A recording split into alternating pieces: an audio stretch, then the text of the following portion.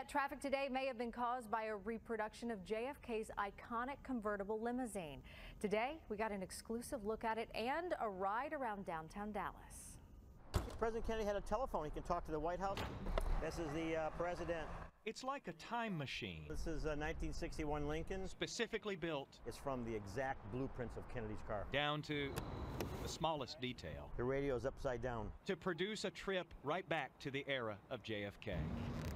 These are called jump seats. This replica of his presidential limousine This is from the original bolt of material from President Kennedy's car. is so close to the real thing. You get that moment of silence where it's just like, really? I mean, is it here? Something unbelievable. It's become a favorite of photographers, Some of the flags, the interior of the car. amateur and professional. The car will star in the Stephen King inspired series 112263.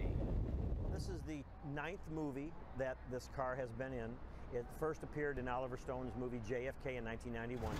Owner and JFK history buff Nicholas Ciacelli took us for a ride just blocks away from the set at Dealey Plaza. Driving it here is all different than any other city it's been in. The limo stops traffic Thank you.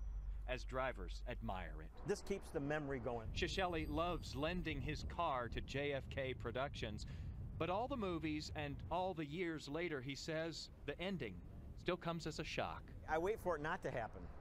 That's what I wish it would not happen, but it always keeps happening. Jason Wheeler, Channel 8 News.